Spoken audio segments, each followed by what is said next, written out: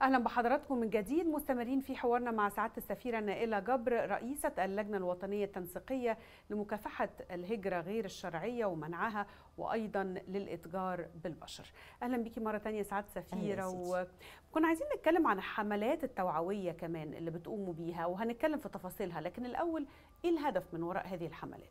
زي ما حضرتك قلتي بنوعي المواطن عارفه حضرتك كلمة الاتجار في البشر مش معروفة مش معروفة عندنا في مصر.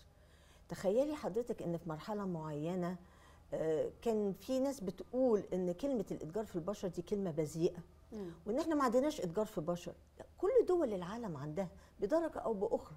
وأنا لما أتكلم عن هذه الجريمة وأوعي الناس ويبقى عندي تشريعات وأعاقب أي واحد يعني يفكر إنه يستغل انسان في ضعفه يبقى أنا بعمل خير للمواطن وخير للمجتمع. طبعا. يعني مش بطلع حاجة سيئة عن المجتمع اطلاقا. فدي لازم أوعي عشان الناس تعرف.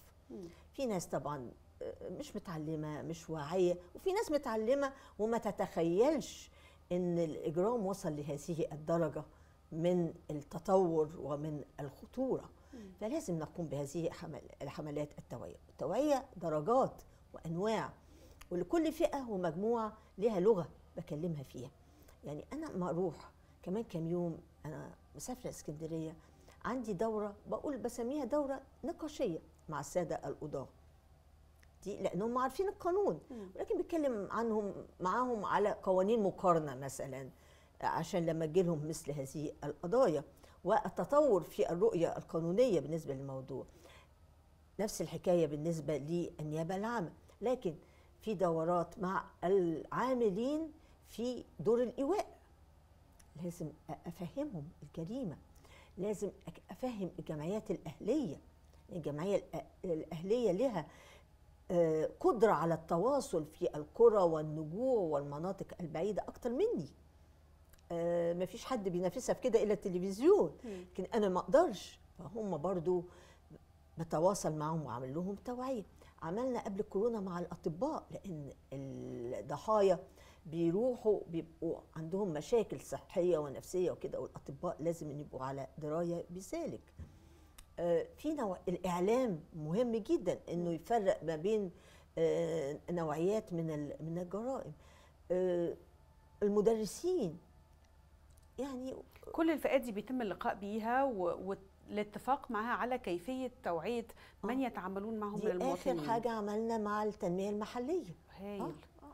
طب ده, ده شيء رائع. بالنسبة للحملات الإعلامية أيوة. لأنه هنشوف برضو جزء منها يعني دلوقتي. شو. هذه الحملات الإعلامية سعادة السفيرة يعني قولي لي البداية كانت إزاي؟ ويعني الخطوة الأولى اللي أخدتوها كانت إزاي؟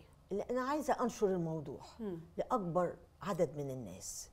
آه لأني الآن عايزة الناس تعرف. آه مش لأن الجريمة موجودة لأن خايفة من الجريمة.